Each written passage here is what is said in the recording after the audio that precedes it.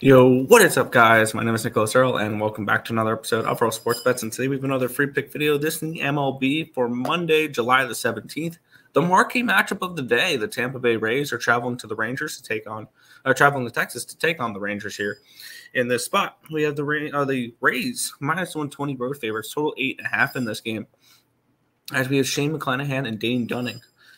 Let's take a look at the line history in this spot. line opened up at 130 for the Rays on BetOnline. It's now down to a 118, and it opened up at an eight and a half minus 110. It's out to an eight and a half minus 113.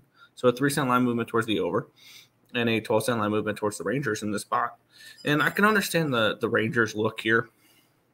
Uh, Shane McClanahan, we've seen him I think twice in the last 30 days, and uh, he's barely pitched because he's I believe been pulled twice with injuries in those games. He only went three innings he gave up four runs on five hits against the uh, Seattle Mariners, and then on the 22nd of Ju- June, uh, he gave up two runs on four hits in three and two thirds innings against the Royals. So he hasn't been very good lately. And remember, he hasn't pitched in a while, and when he did, it wasn't a good start last time. On the other opposite side, Dane Dunning, 3.29 ERA, 1.17 whip, 6.1 strikeouts per nine, which is 17%. 2.58 walks for 982, 84 BABIP, a 396 FIP, 84.78 SIERA.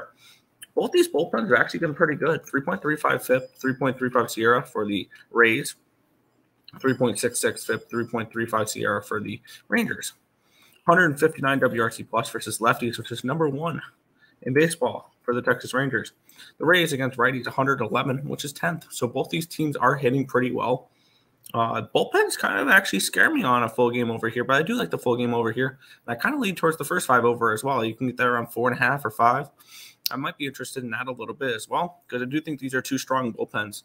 Uh, but I will take the over here in this one. I I think McClanahan can give up some runs. I mean, he, we haven't seen him pitch in a while, and who knows if he's going to be on a pitch limit as well. That could be definitely a problem. And this is our Rangers offense that hits lefties pretty well. On the flip side, the Rays do hit righties pretty well, and Dane Dunning is not somebody I 100% trust as well. I like this game to go over the total, over eight and a half between Texas and Tampa.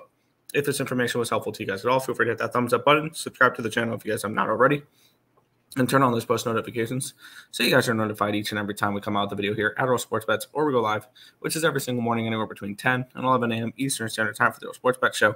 That's going to just about do it for this one. I want to thank you guys as always for watching. Good luck.